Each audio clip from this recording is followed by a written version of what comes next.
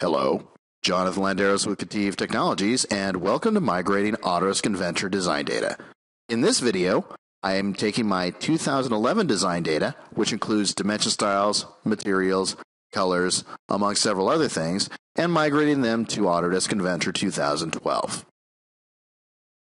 I'll go ahead and start out with my Windows desktop, and I'll go to Windows Start, All Programs, Autodesk, Inventor 2012, Tools, and the Styles Library Manager.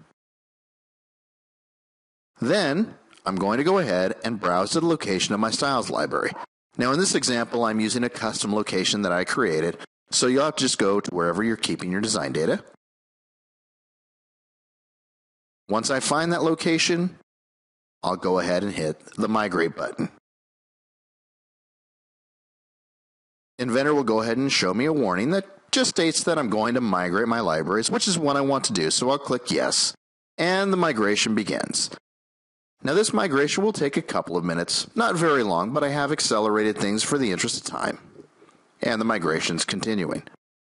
You might wonder why column 2 is there, and that's actually for copying styles from one library to another if you had multiple libraries. I'm just doing a migration so I don't need it. Once things go ahead and finish up, we can see that the migration is over. It shows me everything that was migrated. I'm good to go. And now I have my library ready for using an Autodesk Inventor 2012. That completes this video. I hope you find this helpful.